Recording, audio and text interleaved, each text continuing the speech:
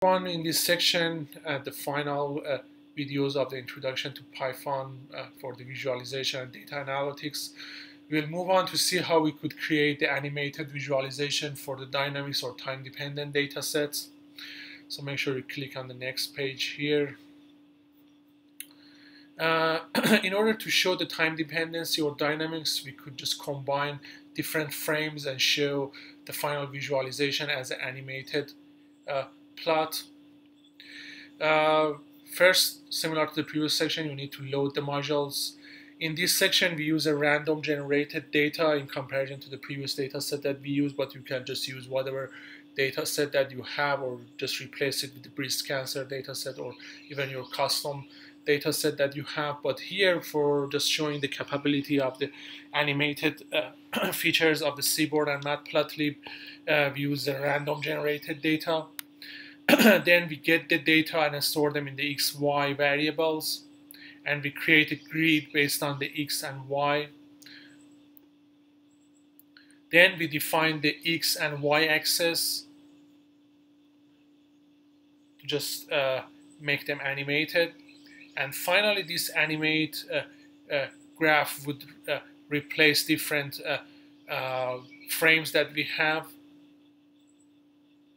and finally, based on the matplotlib animation, func animation, we could just create uh, the animation plot that we want to create based on the random data that we generated. But you could just replace that with any other data set. Here, it just shows the density or the KD plot that we had even for uh, the breast cancer data set, and also shows uh, the distribution in the X and Y axis for different time frames and you see that how different time frames are changed in this animation. So it's like you have different time frames for your data set and you want to see based on the different or dynamic of your data how this density of the points would be changed in the 2D plots. So that's the example of how you could use the animation capabilities of the Matplotlib and Seaborn.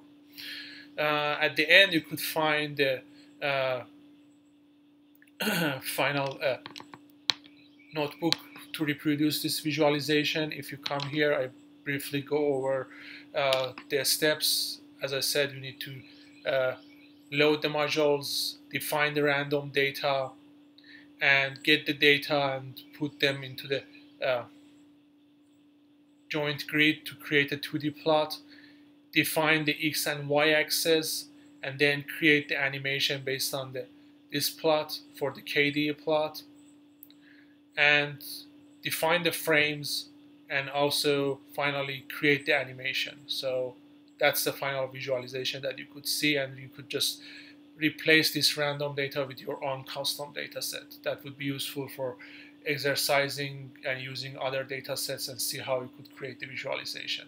So at the end, make sure you, if you go through all the materials in this workshop, make sure you send the visualization to my email address shown again here in our first page as the Yousefi at clemson.edu and thank you so much for your attention and watching our movies and your interest in data visualization. Thank you so much.